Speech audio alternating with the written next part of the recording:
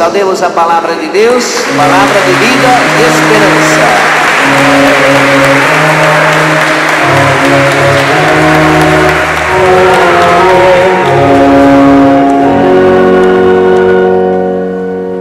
Podem se assentar?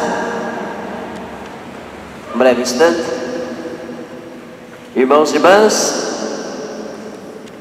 amigos e amigas, aos irmãos da Ordem Terceira Franciscana, aos irmãos da nossa paróquia São Francisco de Assis, aos parentes, amigos de nossos irmãos falecidos. Sétimo dia hoje, queremos recordar com muito carinho a vida e a vocação desses irmãos. O poeta Manuel de Barros diz assim: A medida das coisas não é medida através de balança ou de fita métrica. A medida das coisas se mede com a intensidade do amor que temos em nosso coração. O amor é um sentimento divino, primeiramente, porque Deus nos cria, Deus nos dá felicidade. Encontramos isso na palavra sagrada, na nossa fé, acreditamos nisso. Somos criaturas amadas de Deus. Deus fez o universo todo para contemplarmos a beleza do Criador. São Francisco, no Cântico das Criaturas, nos traduz esse pensamento. Mas Deus também faz com amor o ser humano, e o ser humano também ele é voltado para o amor. O amor é um sentimento do coração da gente que a gente precisa cuidar. Nós precisamos ter esse cuidado de sempre cuidar em nós o sentimento do amor. No mundo de hoje, onde às vezes a violência fala mais alto, onde às vezes o desamor é, está aí, desacreditamos às vezes das coisas boas da vida, dos valores dentro da família, da comunidade, da religião. O Evangelho de hoje vem recordar para nós o sentimento do amor. O livro do Êxodo, primeira leitura de hoje, nos fala da caminhada do povo de Israel. Esse livro da palavra de Deus, esse livro da Bíblia Sagrada nos é importante porque o povo de Deus está andando no deserto, está se aproximando da terra prometida, e Moisés é o grande profeta, e Deus fala através de Moisés. E começa a ter nesse livro uma explanação dos sentimentos, dos costumes. O povo de Deus precisava de normas. Como é que vamos agir? Qual vai ser a nossa atitude? Como deve ser o nosso comportamento para com Deus e também para com os irmãos que estão à nossa volta? Então, importante hoje a primeira leitura, porque o livro do Êxodo nos fala do amor. O estrangeiro deve ser amado, o órfão deve ser amado, a viúva deve ser amada. Então, quem tem as situações de marginalização, quem é desprezado, quem sofre na sua vida do dia a dia, precisam ser amados, porque o pobre sofre em nome de Deus.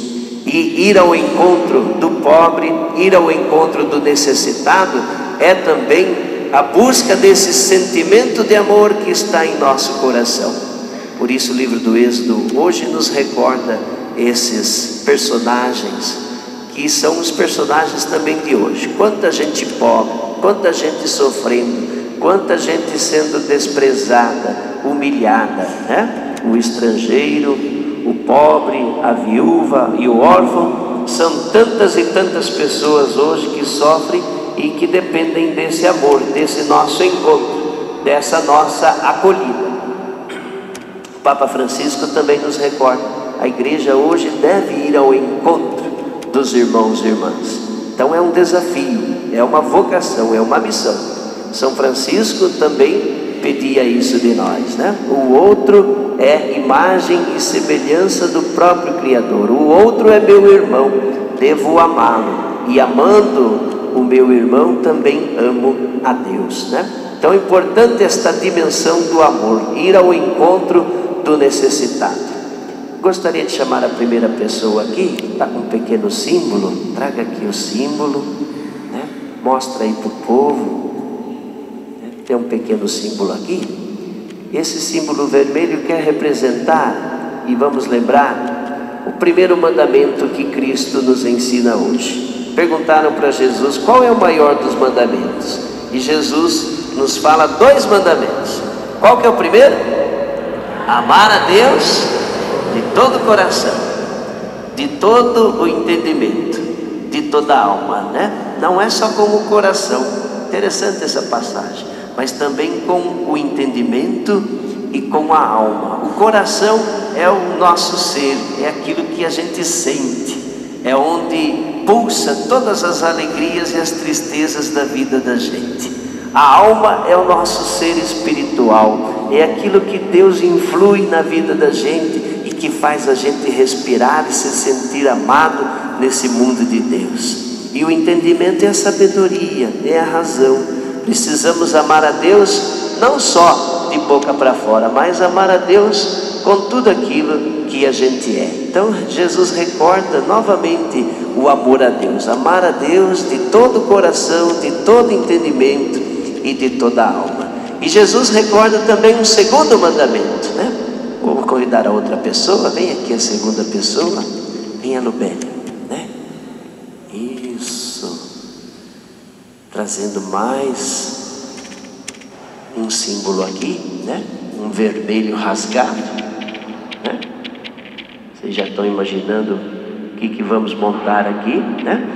É, Jesus também recorda e aí a novidade do Evangelho, além do amor a Deus, como maior importante mandamento, Jesus fala assim, mas tem também um segundo. Qual é o segundo? Amar ao próximo como a gente mesmo, né? Amar ao próximo como a ti mesmo. Então, quando amamos a Deus, nós também vamos ao encontro do próximo.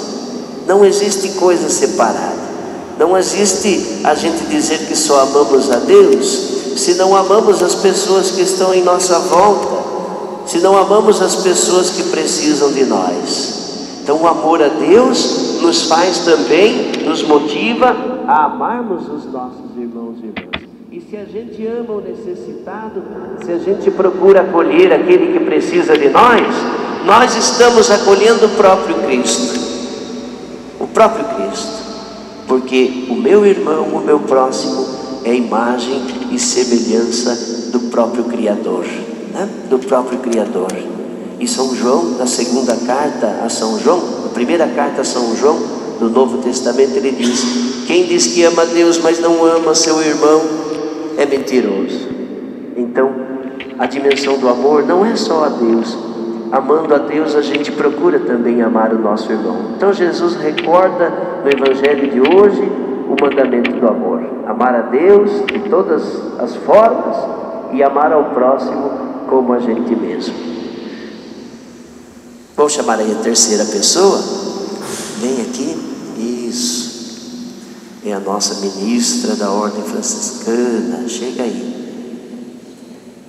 Chega aí, Cidinha mais um pequeno símbolo.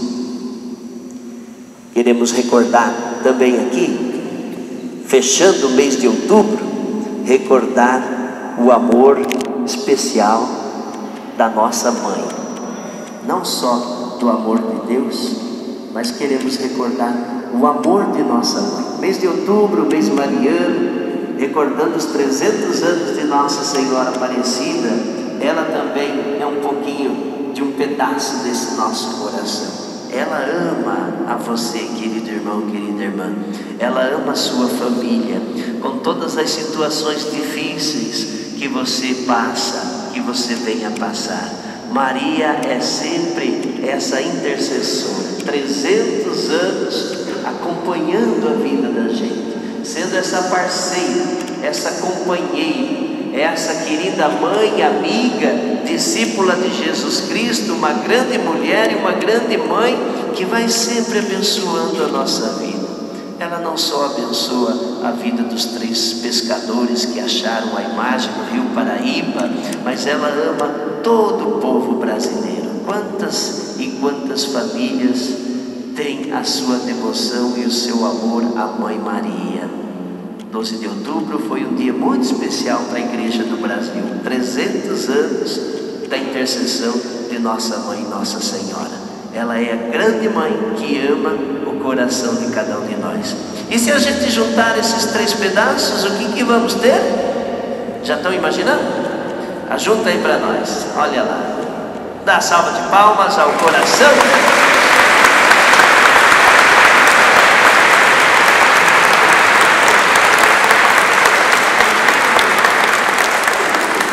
Formou um coração. E o coração é aquilo de mais especial que a gente tem. No coração pulsa a vida. Se a gente ama, se a gente sente alegria, o coração sente, o coração bate forte. Mas se a gente sente medo também, se sentimos o ódio, o nosso coração também sente o mesmo sentimento. É o grande motor da nossa vida. Então vamos cuidar do nosso coração para que o nosso coração esteja sempre voltado para o amor de Deus. É como uma planta.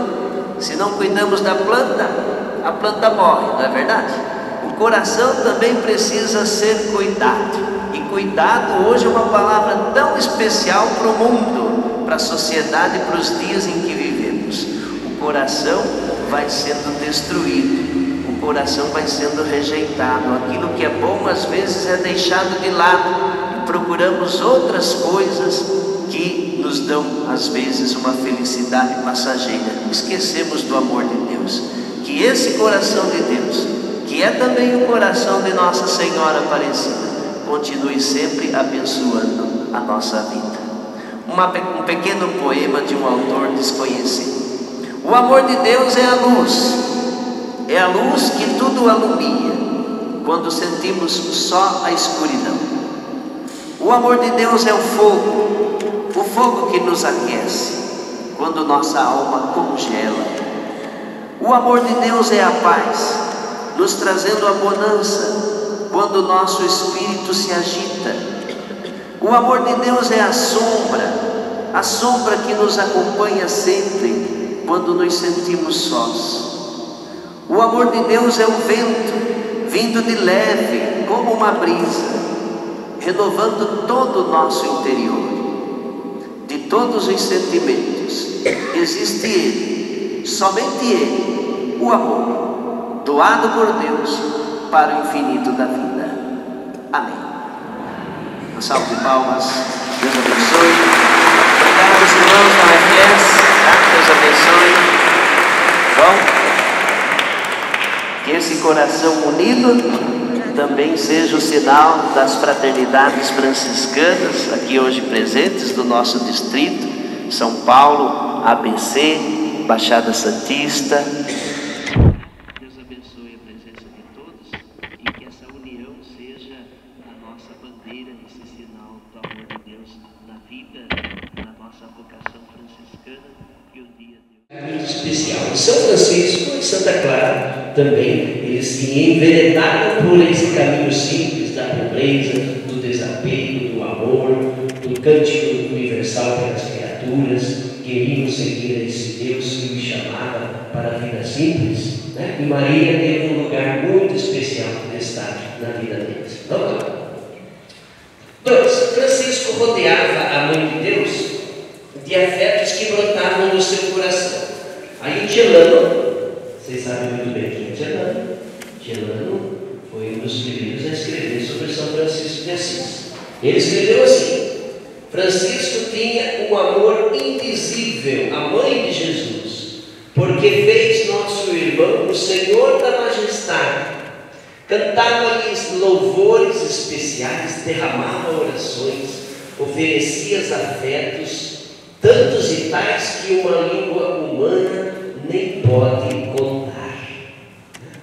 Tirano era poeta e foi ele que começou a escrever sobre a vida de São Francisco de Assis. Um contava de um jeito diferente, um contava de uma forma, outro contava de outra. Aí chegou um certo tempo, vamos queimar tudo isso aí e vamos pedir para o Boaventura escrever. Aí o Boaventura escreveu outros tantos livros de São Francisco de Assis. Aí foi queimado os antigos, mas os monges conservaram cópias da, do livro de Tielano. Por isso que hoje temos o livro de Tielano que a gente pode saborear. Então Francisco tinha um amor muito especial à mãe de Jesus, né? A mãe de Jesus. Afetos, amor, devoção, orações, né? É, chamava, Francisco chamava de mãe do menino Jesus, né? A mãe, a serva, a serva do grande Deus, né? E outros tantos títulos que ela recebe pelos lábios de São Francisco. Vamos lá. Clara, por sua vez, dizendo esta frase. Vamos dizer juntos? Vamos lá. Observemos